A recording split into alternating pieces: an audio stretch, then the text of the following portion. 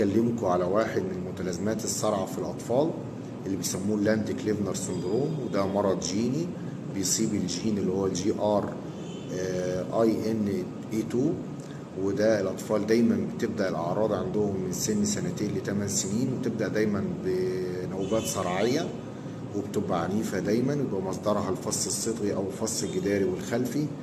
ودايما الأطفال دول مميزين إن هم بيفقدوا القدرة على الس... على الكلام وفهم الكلام المسموع وشوية بشوية مش قادر يتكلم وشوية بشوية بيفقد الكلام تماما.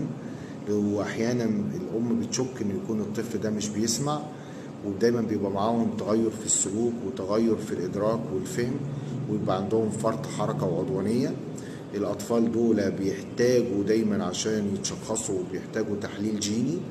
الأطفال دول بيحتاجوا أكتر من مضاد صرع لأنه دايما بيبقى من أنواع الصرع العنيد اللي بيتمش التحكم فيهم بأكتر من نوع صرع بيدوا أكتر من دواء صرع وبيبقى بيحتاجوا كورتيزون في علاجهم وبيحتاجوا دايما علاج تخاطب وبيحتاجوا تعلم لغة الإشارة واحيانا بيحتاجوا جراحة في المخ. ال Landau-Kleffner syndrome دول بيكبر معاهم المرض ولما بيكبروا دايما بيبقى عندهم صعوبات في التعلم وصعوبات في التنفس وصعوبات في في البلع. ده مهم جدا إحنا نعرفه عن ال Landau-Kleffner syndrome